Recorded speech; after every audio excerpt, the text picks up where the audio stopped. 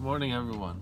Romans 1 5 says, By whom we have received grace and apostleship for obedience to the faith among all nations for his name.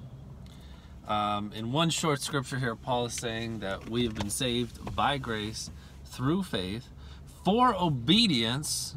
Yeah, the word that you know we really never like to ponder on much, but really you were either for him or against him. So you were being obedient to Christ and you were being changed and constantly corrected by the Holy Spirit into the obedience of Christ in all ways, in every single way that is in the scriptures, or you were being disobedient.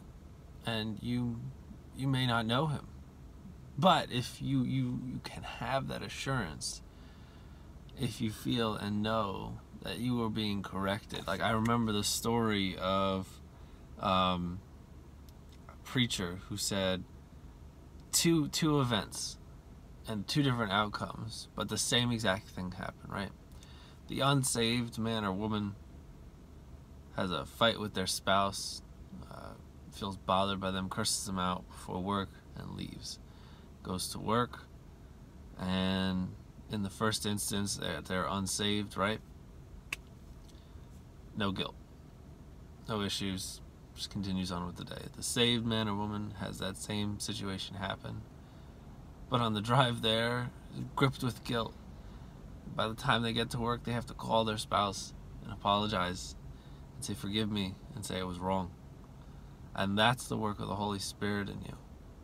And that's obedience.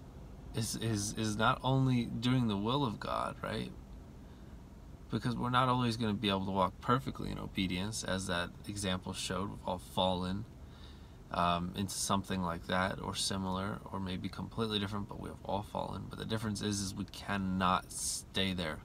We cannot sit there. So know today, your assurance comes from the conviction of the sin that you have and the revelation thereof, so that you might live a repentant or a turned away or a completely 180 degree lifestyle, continually turning away from your sin, from the temptation, and obeying the commands of Christ and being called and felt drawn to them as though it is something that is not within you, but it is something that is, is guiding you with a with a a calm but firm hand into those things.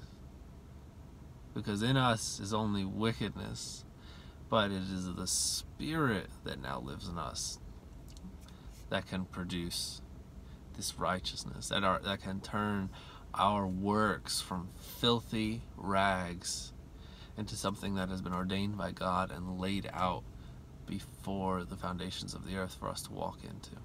So praise God for that. What a hope. Love you guys.